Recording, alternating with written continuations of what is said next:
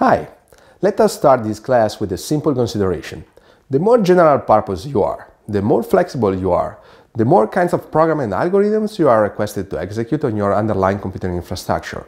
And all of this is happening quite often by losing efficiency.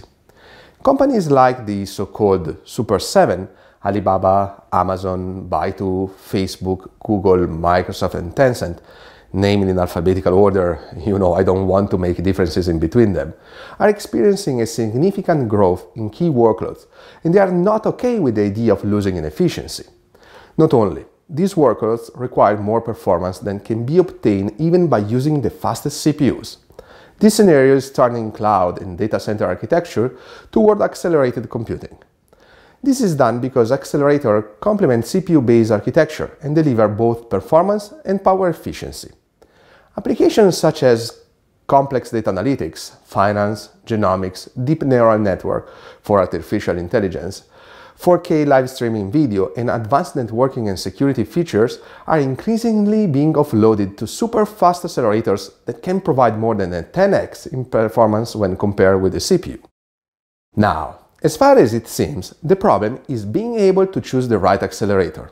And this is true because there are several accelerators that can be used. Example are GPUs and FPGAs.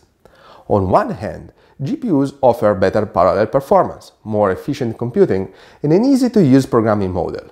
On the other hand, FPGAs bring higher performance per watt, improved hardware accelerator performance, and lower inter-device latency. Moreover, when using cloud infrastructure, the advantages introduced by extending these infrastructures with FPGA technologies are even more clear. In the context of a cloud infrastructure, FPGA are essentially a system on chip coupled with one or more host CPUs via PCI Express connection. This scenario is basically turning the FPGA into a custom accelerator for the code running on the CPU. Now, this is extremely interesting and convenient because of the following. FPGA resources are ready to be used upon purchase and can be elastically scaled.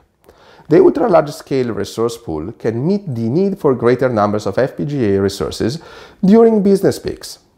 FPGAs are reconfigurable devices, therefore they can provide an ideal fit for changing workloads of the modern data center. Now, considering all these advantages, why FPGAs have been only recently used in cloud infrastructure? Quite easy. It is because of the cost of doing FPGA engineering. Up to few years ago, being able of programming an FPGA was definitely not an easy task. Well, it's not yet to that point even today, but things are getting better quite fast. Within this context, if you can only hire a few expensive engineers, there is only so much you can do. You end up quite soon in a scenario where you cannot go to the market with the velocity you were looking for.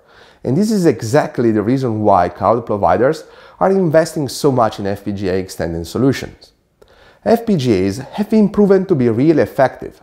What was missing was a surrounding developing ecosystem, which is exactly where a significant portion of research is going right now. The two major FPGA vendors are Intel, after having acquired Altera in 2015, and Xilinx. Therefore, within this context, we can divide the cloud infrastructure in Intel-based and Xilinx-based.